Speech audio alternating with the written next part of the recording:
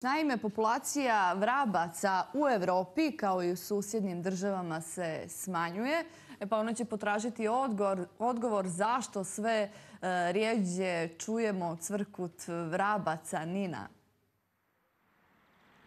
Dobro jutro, Bojana, prije svega svim našim gledalcima. Dobro jutro vama u studiju. Tako je, naučne istraživanja pokazuju da urbane sredine širom svijeta bilježe sve manji broj vrabaca. Zašto je to tako? Koliko smo i mi e, krivi? Da li uopšte gradnja i klimatske promjene utiču i na taj broj? Uopšte i ptica i vrabaca. Mi u nastavku pričamo sa Marijom Šoškić-Popović iz Centra za zaštitu i proučavanje ptica. Dobro jutro. Dobro jutro.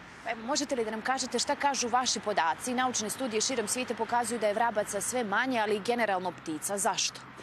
Pa e, što se tiče Crne Gore, generalno e, mi trenutno ne možemo da izađemo sa informacijom kakva je situacija sa populacijom vrabaca u Crnoj Gori, jer do sada nisu rađena e, detaljnije istraživanja ovim vrstama, ali ono što je sigurno u odnosu na, podatke koje imamo iz Europe i svijeta jeste da njihov broj opada ovaj, svuda.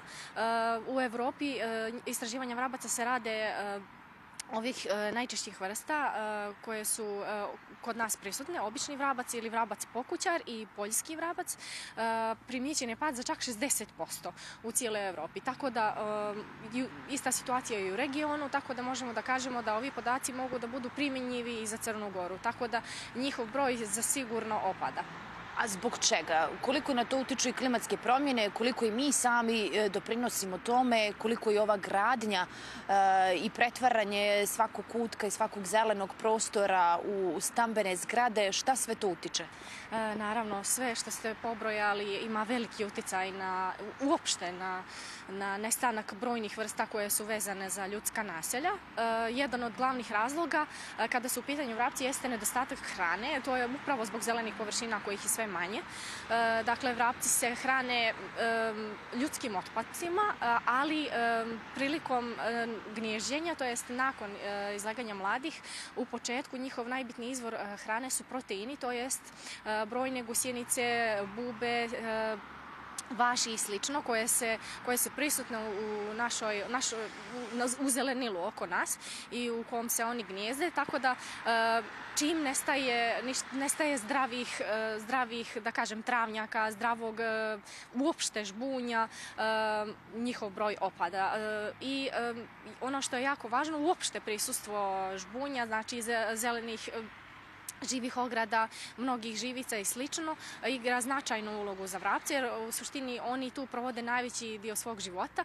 E, e, nekako žbunje ima, da kažem, tu socijalnu ulogu, e, značajnu za vrapce jer u ovom periodu kada oni kreću da se pare, oni borave u tim živicama, tamo se okupljaju jer su veoma društveni, zatim kada se mladi kada mladi napuste gnijezdo, eh, oni se tamo eh, druže, socijalizuju sa ostalim vrapcima i također eh, žbunje i ova vegetacija ima značajnu odbrambenu ulogu u životu vrabaca jer recimo kada je u blizini mačka, oni izađu na one grane na ivici žbuna gdje mačka naravno ne može da se kreće ili u slučaju napada kopca na jato oni se onda zavlače dublje u žbunje i slično, tako da uopšte zelenilo igra značajnu ulogu, naročito žbunje. E, šta bi onda čovjek, evo izvinjavam se, šta bi onda e, svi mi mogli da uradimo kako se ne bi još smanjivao broj vrabaca i imate li neke pretpostavke, ako ih je već do sada 60% manje, koliko će ih biti za par godina? naravno, ono što, smo pomenuli na, početku, kada, su u pitanju prijetnje po vrapci, to jeste neplanska gradnja gradova, izgradnja, sve više vidimo u gradu blokova, bez zelenih površina e, i jednostavno to su mjesta na kojima vrapci više nema mjesta za njih na takvim, u takvim e, gradskim naseljima. Tako da u suštini što se tiče recimo naših gradova ostala su još ova stara gradska jezgra da još uvijek imamo nešto malo zelenile na kom oni mogu da se gnjezde, ali i tu su naravno u opasnosti jer e, klimatske promjene, zagađenje vazduha također veoma utiče na, na populaciju ove vrste. Hvala vam najljepše, Marija, što ste izvojili vrijeme za boj jutri. Pratit ćemo naravno šta će se dalje dešavati. Hvala i vam.